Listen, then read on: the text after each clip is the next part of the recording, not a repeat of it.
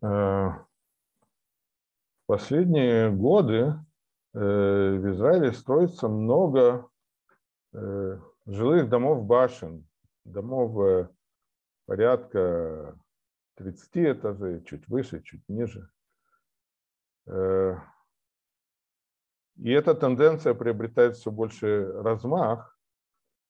Казалось бы, города с такими башнями выглядят очень привлекательно, поскольку люди живут в башнях, а между ними есть пространство для газонов, деревьев и так далее, и человек не чувствует городской тесноты.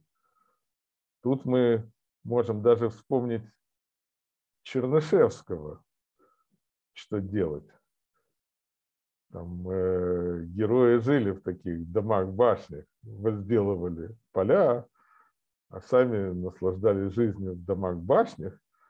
И, между прочим, если обратите внимание, там есть такая глава, где на зиму они уезжали в дома башни, расположенные в таком месте, где есть пустыня и море. Вот боюсь, что уже Чернышевский давал намек на наши места. Э, так ли хороша эта тенденция? Давайте рассмотрим поближе. Во-первых, э, дома башни, они серьезно дороже. Э, в них есть довольно дорогое оборудование, прежде всего. Это высотные лифты, которые, которых должно быть несколько, потому что если один откажет, то людям просто нечего будет делать, а, окажется в западне. Э, также поднимать э, на большую высоту воду, водопровод, это тоже большая проблема, э, и поэтому каждые 15 этажей в очень высоких зданиях нужно делать технический этаж, где вот такие емкости и перекачка снизу вверх. То же самое канализация имеет серьезные проблемы, а также мусоропроводы, мусоропроводы со специальной пневматикой и так далее. Довольно дорогостоящее устройство. Э, э, кроме, кроме того, нужно активную пожаротушащую систему делать, очень серьезно, поскольку пожарная машина к такому дому, она не особо подъезжает, да, даже если подъедет до 30 этажа, большая проблема достать. И эти системы тоже стоят значительных средств. Э, как жить на высоких этажах? Ну, с одной стороны, вид и свежий воздух, между прочим. А с другой стороны, ветер, он очень сильно увеличивается с подъемом от земли поскольку трение об землю уменьшается. И большая проблема использовать балконы в таких домах, и порывы ветра, они настолько велики, э, вот один из наших э, участников нашей группы, Михаил Карповский, он жил в такой э, в таком доме и говорил, что в ветреный день он не, не мог открыть входную дверь.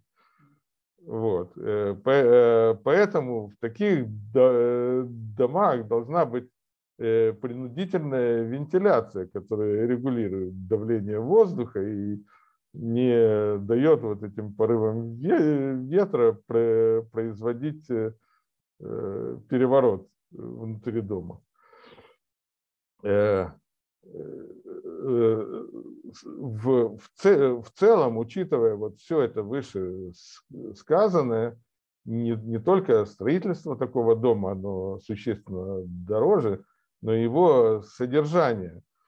Э, известна цифра, что в Америке содержание текущее, ежемесячный взнос жильцов дома составляет порядка от 600, 600 до 1000 долларов в месяц. Ну, в Израиле эта сумма оценивается примерно 1000-1500 э, шекелей. Вот у меня знакомые есть э, в небоскребе таком в Натане на берегу моря, вот я знаю, там около 1400 шекелей месячный взнос. То есть э, люди состоятельные могут себе это позволить, а для людей скромного достатка эта сумма уже является серьезной перегрузкой. Э, кроме того, э, мы живем в стране, где не всегда с точки зрения военной безопасности спокойно. И мы знаем, что у наших врагов э, появляются высокоточные ракеты. Такой дом – это просто идеальная цель для атаки такой высокоточной ракеты. Будучи достаточно массой заряда, она просто может его уничтожать. И потери могут быть очень большие.